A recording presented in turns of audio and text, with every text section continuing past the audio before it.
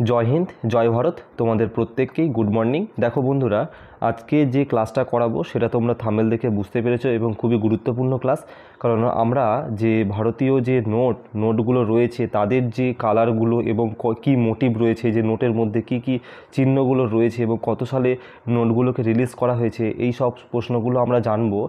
আমরা প্রত্যেকেই হয়তো সচরাচর আমরা টাকা ইউজ করে থাকি, কিন্তু হাতে থাকতেও কখনো আমরা ঠিকঠাকভাবে আমরা এগুলো নোটিস করি না যে কি কালার রয়েছে বা কি তার মধ্যে চিহ্নগুলো রয়েছে। পরীক্ষাতে কিন্তু এই প্রশ্নগুলো আসে হ্যাঁ? তার জন্য এই টপিকটা গুরুত্বপূর্ণ প্রশ্ন।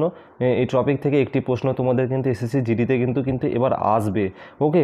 দেখো, প্রিভিয়াসের একটা প্রশ্ন আমি তোমাদের দেখিয়ে দিই তোমাদের, যে মহাত্মা গান্ধীর নতুন সিরিজে পঞ্চাশ টাকার নোটের কি কালার রয়েছে? এটা কিন্তু তোমাদের SSC GD constable, official paper, held on দশই জানুয়ারি দু হাজার তেইশ, শিফট টুয়ে এসেছে।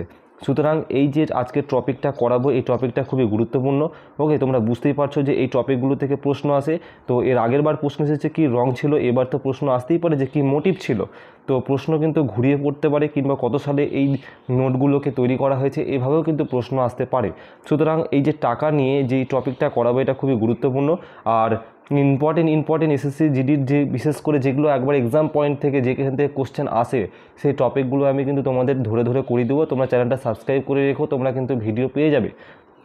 তো দেখো দশ টাকার নোট আমরা প্রত্যেকে এই নোট সম্বন্ধে অবগত যে দশ টাকার নোট আমাদের কে তৈরি করে থাকে? অ্যাকচুয়ালি আমাদের নোট কারা তৈরি করে? দশ টাকা, কুড়ি টাকা, পঞ্চাশ টাকা, একশো টাকা এই নোটগুলো কিন্তু সব আমাদের রিজার্ভ ব্যাঙ্ক অফ ইন্ডিয়া কিন্তু প্রতিষ্ঠা করে থাকে। হ্যাঁ রিজার্ভ ব্যাঙ্ক অফ ইন্ডিয়া এবং সেন্ট্রাল গভর্নমেন্ট কিন্তু তৈরি করে থাকে। তোমাদের মনে রাখতে হবে যে এক টাকার নোট, এক টাকার নোট বাদে কিন্তু সব মুদ্রা কিন্তু আমাদের আরবিআই করে থাকে। এক টাকার নোট তাহলে কে তৈরি করে? এটা কিন্তু আমাদের অর্থমন্ত্রক অর্থমন্ত্রক করে থাকে ওকে তো এবার চলে যাই যে দশ টাকা নোটের রং কি? এটা যে চকলেট ব্রাউন, তোমরা দেখেই বুঝতেই পারছ ছবির মধ্যে যে এই যে দশ টাকা নোটের যে কালারটা, সেটা অনেকটা বাদামি টাইপের চকলেট যে বাদামি হয়, সেই টাইপের রং। এবং এটা কত সালে এই নোটটাকে রিলিজ করা হয়েছে? এটা পাঁচই জানুয়ারি দু হাজার আঠেরো সালে। পাঁচই জানুয়ারি দু হাজার আঠেরো সালে নোটটাকে রিলিজ করা হয়েছে এবং এই নোটের মধ্যে যে এই যে চিহ্নটা রয়েছে, এই চিহ্নটাকে কিন্তু কোণার্কে অর্থাৎ উড়িষ্যাতে অবস্থিত যে কোণার্কের সূর্য মন্দির, সেই সূর্য মন্দিরের কিন্তু এটা প্রতীক ওকে নেক্সট প্রশ্নে চলে যাব যে কুড়ি টাকার নোটে আমাদের কি কালার থাকে এবং এখানে কি চিহ্ন থাকে? কুড়ি টাকার নোটে যে গ্রিনিশ ইয়েলো তোমরা দেখে বুঝতেই পারছ, এটা হালকা একটা গ্রিনিশ অর্থাৎ সবুজ ইয়েলো, একটা হলুদ টাইপের একটা কালারটা তোমরা দেখে বুঝতে পারছ। তো এই যে কালারটাকে আমাদের কিন্তু ভালো ভাষায় অর্থাৎ আমরা বলে থাকি যে কি গ্রিনিশ ইয়েলো বলে থাকি এবং এটা কত সালে এই নোট আমাদের ভারতবর্ষে আমাদের প্রত্যেক নাগরিকের কাছে পৌঁছে দেওয়া হয়েছে, সেটা হচ্ছে ছাব্বিশে এপ্রিল দু হাজার উনিশ সালে কিন্তু এটা প্রতিষ্ঠিত করা হয়েছে। এবং এই নোটের মধ্যে যে চিহ্নটা দেখতে পাচ্ছ, এটা কিন্তু অবশ্যই ইলোরা গুহা মাথায় রাখবে কিন্তু কুড়ি টাকার নোটটা খুবই ইম্পর্টেন্ট অনেকবার পরীক্ষায় রিপিট হয়। তো এটা একটু ভালো করে মনে রাখবে ইলোরা গুহা। তারপরে চলে আসি পঞ্চাশ নম্বর পঞ্চাশ টাকার নোটে কি থাকে? তো পঞ্চাশ নোটে, পঞ্চাশ টাকা নোটের যে কালারটা, এটা দেখতে অনেকটা কেমন? তো তোমরা পরীক্ষার হলে গিয়ে তোমাদের কালার হয়তো মনে থাকবে, কিন্তু অ্যাকচুয়ালি যে এটা কী ধরনের কালার হতে পারে সেটা কিন্তু মাথায় আসবে না। তার জন্য এই ক্লাসটা খুব গুরুত্বপূর্ণ। এটা হচ্ছে ফ্লোরিসেন্ট ব্লু তোমরা দেখতে বুঝতে, এই যে কালারটা অনেকটা, এই কালারটার নাম, এই যে কালারটার নাম, এই কালারটার নামই হচ্ছে বন্ধুরা ফ্লোরিসেন্ট ব্লু ওকে, মাথায় রাখবে এবং এটা দশই নভেম্বর দু হাজার সতেরো সালে কিন্তু রিলিজ করা হয়েছে এবং এর যে মোটিভ বা যে, এর যে চিত্রটা যে চিত্রটা আমরা দেখতে পাচ্ছি, এটা কিন্তু হাম্পি এটার হাম্পি হাম্পি হ্যাঁ এটা কিন্তু হাম্পি। আর হাম্পি শহরটা কোথায় অবস্থিত বন্ধুরা? যখন হাম্পি আসলো, এটা আমি একটু একটু বলে দিই যে এটা হচ্ছে তুঙ্গভদ্রা যে নদী রয়েছে আমাদের তুঙ্গভদ্রা নদী।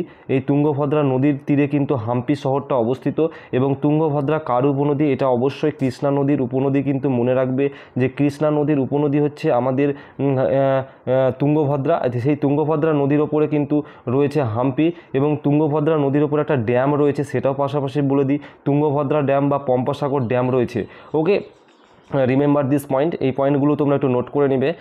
তারপরে আমরা চলে আসি যে একশো টাকার নোট একশো টাকার নোটে যে রঙটা এটা কিন্তু ল্যাভেন্ডার রং। এই রঙটাকে যেটা আমরা বলি সচরাচর আমরা হাতে আমরা ইউজ করে থাকি, এই রঙটাকে কিন্তু ল্যাভেন্ডার রং বলে থাকি আমরা।